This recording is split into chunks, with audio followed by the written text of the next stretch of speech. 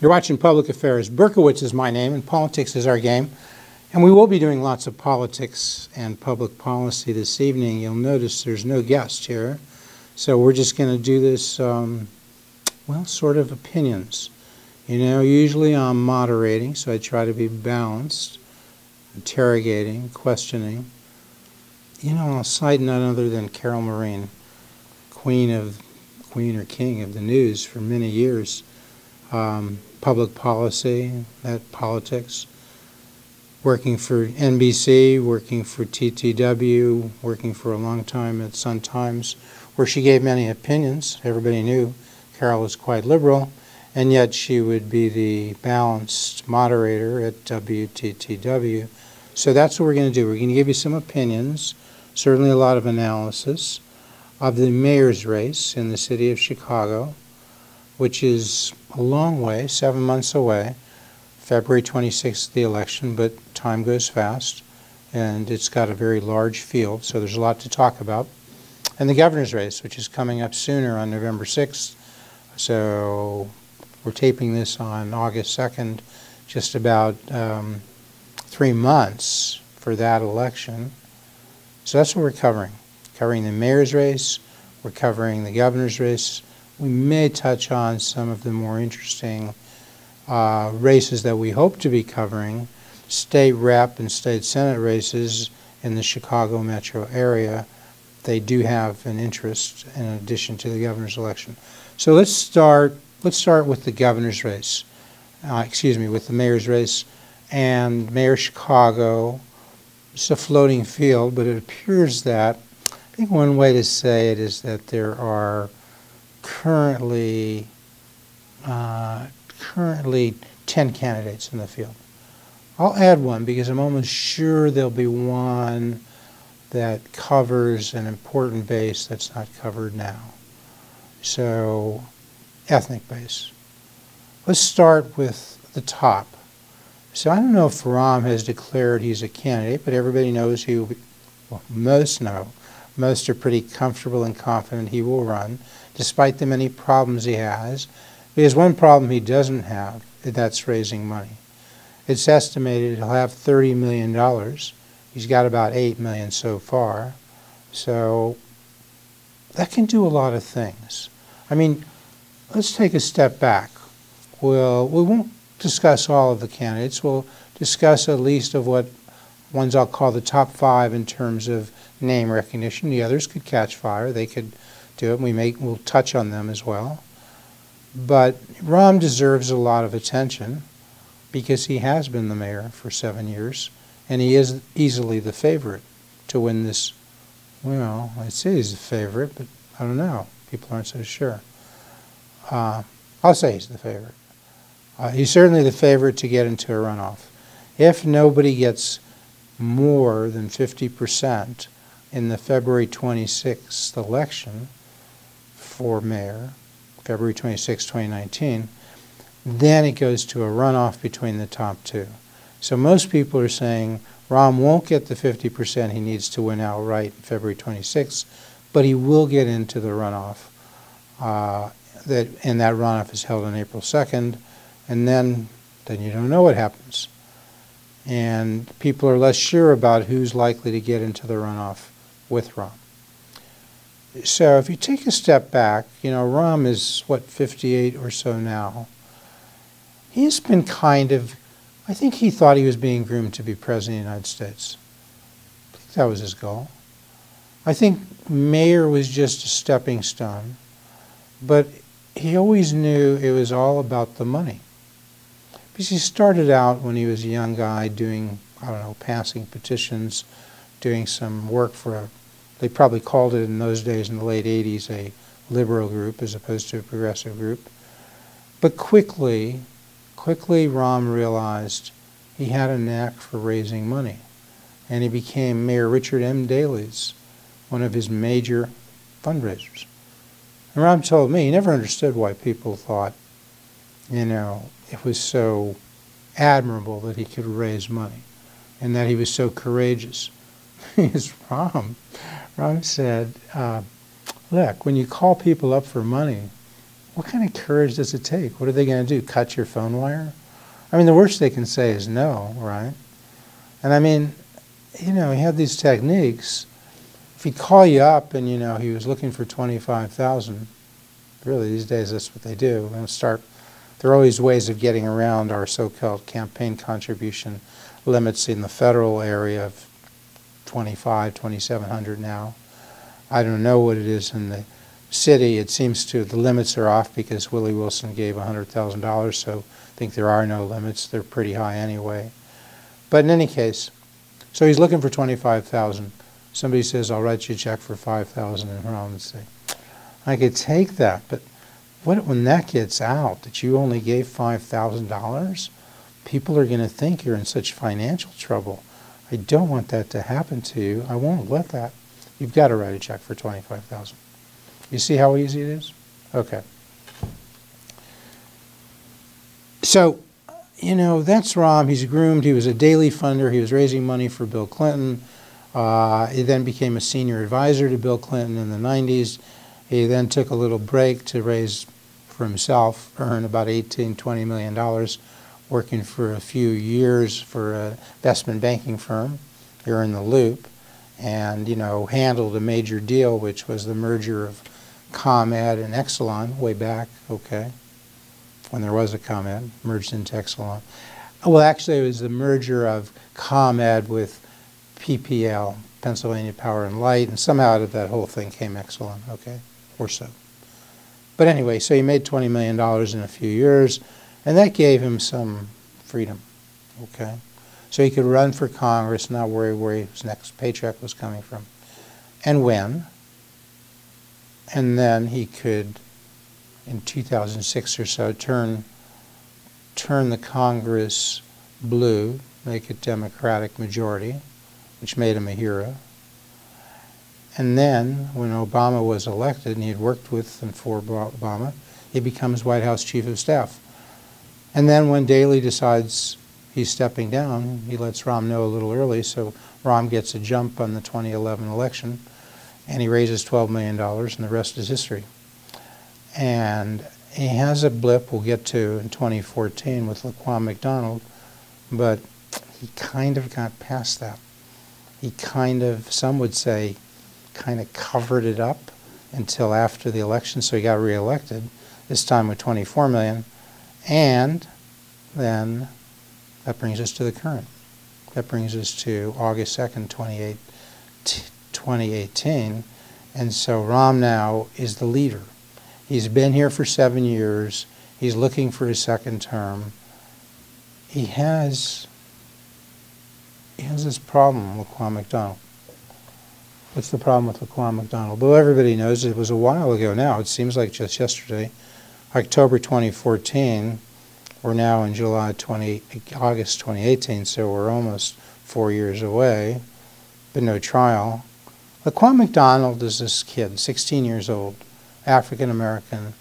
He's probably on drugs of some type, but he the call comes in. This guy's, I don't know, scratching cars, and so police keep rolling up to where this is. They take a look. There's nothing terribly dangerous. They're sitting around. Nobody's got a taser. They want to go up to him, and if he gives them any trouble, just tase him, but nobody's got a taser. So three years into the Rahm Emanuel mayoral reign, they don't have enough tasers for the police force. Well, they got 11,000 policemen down from maybe 13,000. And uh, so anyway, there are like eight policemen there, there are 10, there are 12, 14.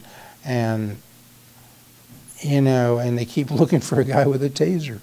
Nobody seems to, everybody, police keep coming, but they can't find a taser.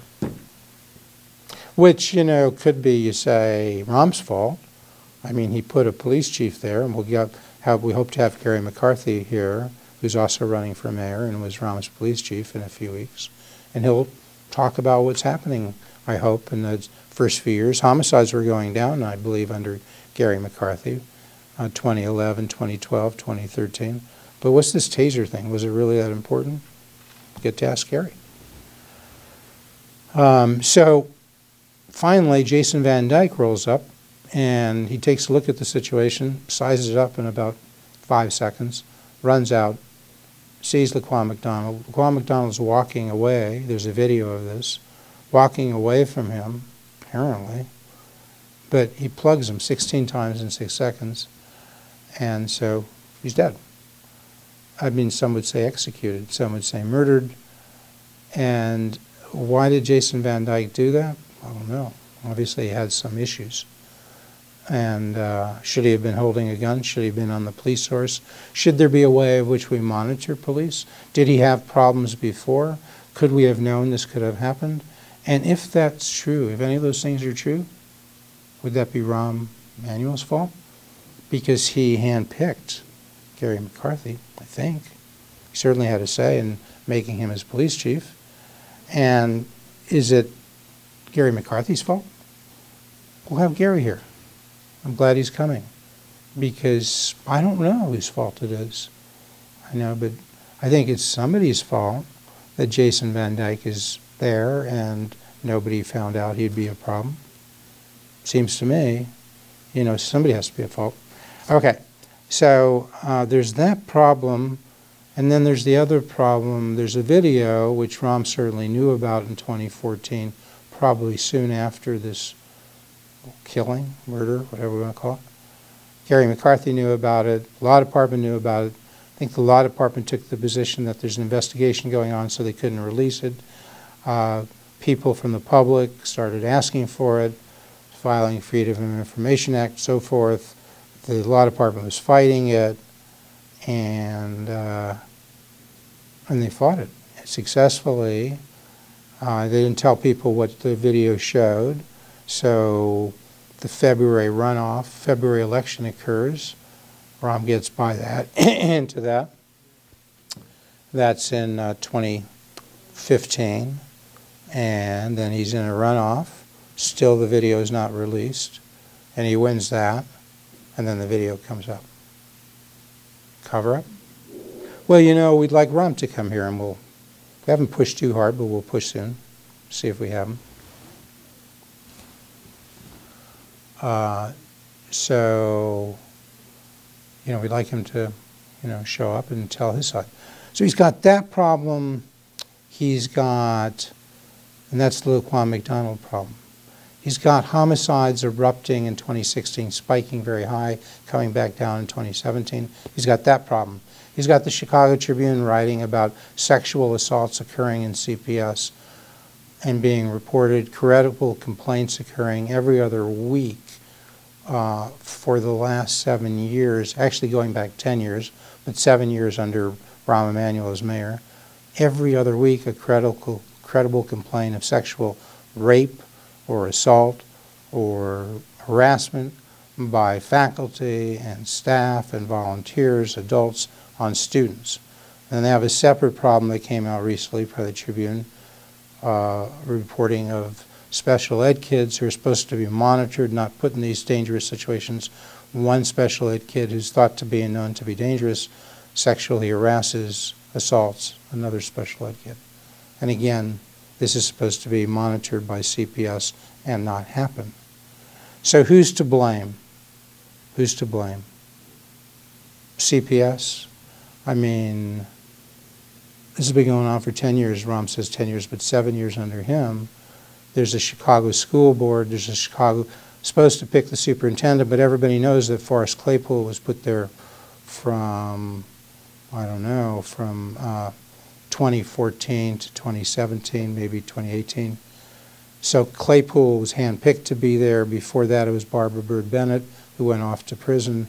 So Rahm, who handpicks these people, nominally the board does, but he puts the people on the board, and the board says what he does what he wants. That's another problem. So these are all Rahm's problems. But he's got $30 million, so he's still the favorite. And Gary McCarthy, probably number two in the polls. Um, Gary McCarthy, number two in, in the polls, because um, He's 59. Polling recently that uh, Lori Lightfoot did shows him at 16%. he's got a base. He's a police chief. He was involved. He was involved in the police department in New York for a long time before he came here. He was then the police chief in uh, New Jersey and Newark. Newark did quite well. Brought here, and he's known. He's got name recognition. He's got a base. He's got fans. I would think police like him. Some people say not. I would think fire guys would like him. I would think teachers. He's that's kind of his base. Rahm's white. Gary's white. They've got sort of a white base. Although people say Rahm's space is a little bit of everything. Gary's might be a little bit of everything, but a little bit more of the northwest side, one would think. But we'll let Gary tell you when he comes here. We so appreciate that he's willing to come here. Um, so I put him number two now, Mr. McCarthy. Lori Lightfoot, who's new to the race relatively, 55, African American, which is important, race matters. As I count now, looks like six blacks in the race, six African Americans, four whites, uh, one maybe coming up Hispanic who hasn't declared yet. So Lori Lightfoot is a former federal prosecutor. Some would say she's a corporate type. She went to the University of Chicago Law School. She came out, she becomes a prosecutor. She's close aligned with civic stuff that's going on. She's appointed by Rahm to the Chicago Police Board. Um, okay, so um, she's a player in the city. And uh, she's smart, she understands public policy. She can go toe to toe. See, Rahm's articulate. He's well spoken, not not your natural politician type like a Barack Obama or Bill Clinton, but he can talk policy. He understands this. We imagine Gary McCarthy does. We haven't spoken a lot with Gary, but we'll see. We imagine Lori Lightfoot does. This is one thing that makes them players. If you want to be part of this, the establishment thinks you got to know the policies, you got to know the issues, you got to be articulate. Of course, along comes Trump, and he becomes president. Has that changed everything? Is there a Trump type in the mayor's race? I digress. Lori's also lesbian. She would be the first African American female elected mayor if she were elected here in Chicago, the first uh, lesbian or somebody from the LGBT community. Um, she, uh, you know, all of the folks would want to view themselves as progressive. Seems like everybody thinks that's the great majority in Chicago, and maybe it is. Certainly majority Democrat. They're maybe best 15 to 20 percent Republicans. But some of the progressives don't think she's progressive enough. Recently, it came out that she opposed Medicare. Some people push Medicare for all. She doesn't think that's such a good idea. Medicare may not be, as she says, the great program people think it is. She opposed single payer, so did Barack Obama. She opposes closing ICE, which some people think is somewhat drastic. But she has said she was hassled on the gang member list. There's a list of gang members in Chicago. People think people are put on there, they're hurt for life and so forth. We shouldn't really have that. We shouldn't really use it. Others say the gang member list tells you who's committing most of the really more violent, more harmful crimes, if you can focus on some, that some way, legally, without harassing these people, maybe you can stop crime. Well, she became persuaded by the critics that that shouldn't be using that gang member list. So I guess that makes her a little more progressive. So we've asked Lori to be on the show, and she said, you know, she's she's pretty busy. So we would hope she'll find time to do the show. We've had five of the candidates, we'll get to them soon, uh, five of the candidates who are running for mayor on the show.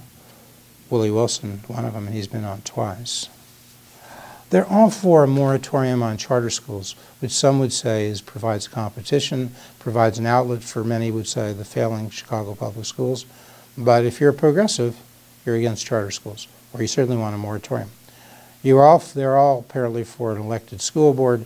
Gary would say a partially elected school board because he says, if I'm going to be held accountable as mayor, I want to have a voice in that, which I think makes some sense.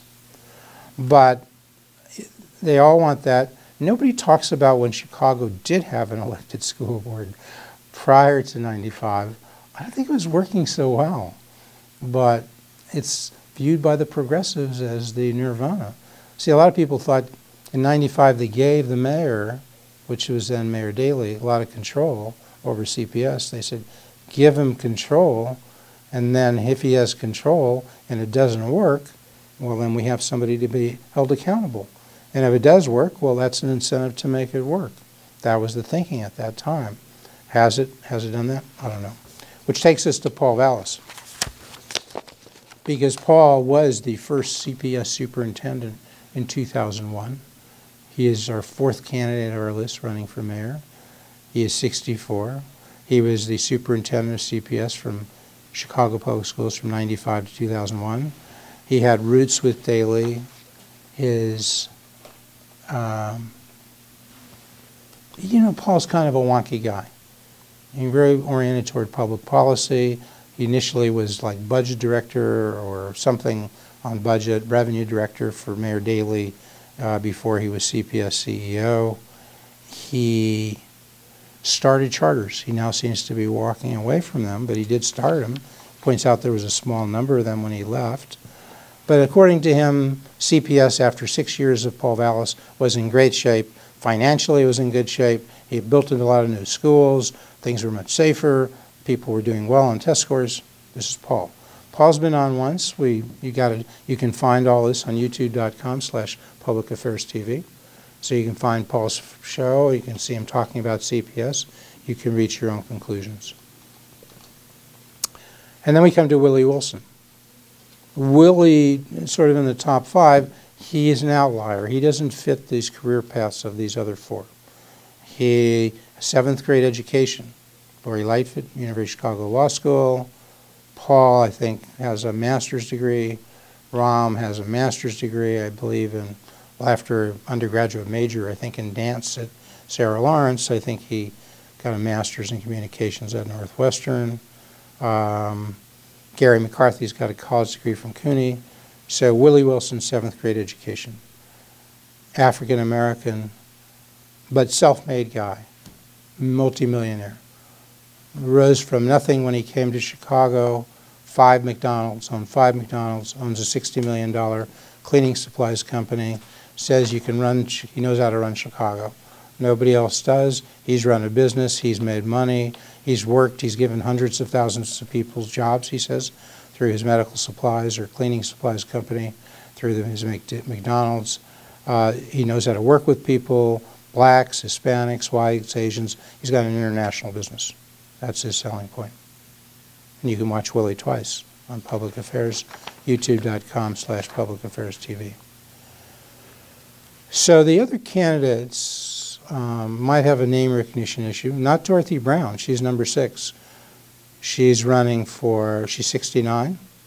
She's running, she's now Circuit Court of Circuit Court of Cook County Clerk. She's been in that position for four terms, four and a half terms. The, she seems to be dogged by an investigation of some kind of bribery or selling jobs or doing something wrong. She's never been formally accused. Some people around her have been charged. There's lots of whispers. Will something come out? Would that, well, if something, if she were indicted, obviously that would, uh, that would uh, put a stop to her campaign, one would think. Although people sometimes get indicted and still go ahead and win things like alderman in Chicago, but probably not mayor, I don't think. Um, Troy LaRaviere was a was a teacher, principal, got into fracas with uh, Rahm and others and uh, was fired for allegedly politicking while on the job. We won't go into all that. You can find more about Troy. Watch him on youtube.com slash public affairs TV. He is now head of the Principals and Administrators Association. 47, articulate, well-spoken black. Um, interesting stories. But, you know, Brown will have some issue. She has name recognition, but can she be a player with that top group? Can she raise funds on that level? Can Troy do that? Boy, it's really doubtful. Okay, maybe they'll surprise, surprise me. But it's hard to be a major player running for city Chicago mayor unless you can either strike a very responsive chord, a lot of name recognition, known around the city, be somebody like a Lori Lightfoot or a Paul Vallas or a Gary McCarthy or even a Willie Wilson now. Okay, and maybe those folks can raise a half a million. Well, Lori's already raised a half a million. Maybe she could raise two million, three million, five million. If so, that may be enough to go up against Rahm's 30 million. There are a few other candidates. Neal Sales-Griffin, you can find him on youtube.com slash public affairs TV, a young high-tech entrepreneur. And a few others we're not going to even go into at this point. And somebody would think an Hispanic can enter the race, right? There's a major base, no Hispanics, you know. Six African Americans, some really well known, like Lori Lightfoot, fairly well known, Willie Wilson, Dorothy Brown, others a little less well known. So that base is somewhat covered, and that and that may be too covered. They may drain from Lori Lightfoot, who may be the major one to run as an African American, or Willie Wilson. But if there's an Hispanic that comes in, you know, I mean, Ricky Munoz stepping down as alderman, he says he might run in four years. I don't know why people haven't asked him why he wouldn't run now. Tried to get Ricky on the show so we could ask him, but he hasn't hasn't said yes yet. So